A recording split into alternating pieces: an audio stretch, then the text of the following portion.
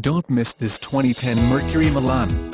It's equipped with automatic transmission and features a brilliant silver metallic exterior. With 38,593 miles, you'll want to take this car home. Make a great choice today. Contact us and see this car firsthand.